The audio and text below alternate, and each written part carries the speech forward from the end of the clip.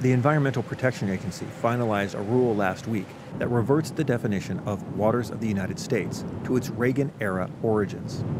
The EPA revived a 1986 definition because it believed the changes to the definition made by the Obama administration and reversal of changes by the Trump administration had harmed communities and the nation's waters.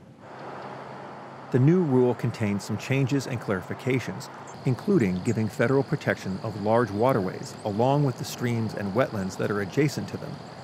The final rule includes language stating that protected wetlands must be reasonably close such that the wetland can influence water quality or quantity in another protected waterway. No distance limits for protected areas were specified in the measure. The new rule also maintains the Obama and Trump definitions that ditches without permanent flows of water waste treatment systems, and artificial lakes or ponds are not subject to federal rules. The EPA appears to be aiming for a pragmatic definition of protected waters that would end a decade of legal challenges. Objections were voiced by several organizations.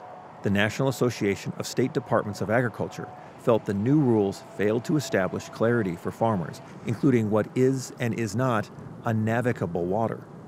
The American Farm Bureau Federation and the National Cattlemen's Beef Association stated in separate releases the new rules would, among other things, continue to create confusion for farmers. For Market to Market, I'm Peter Tubbs.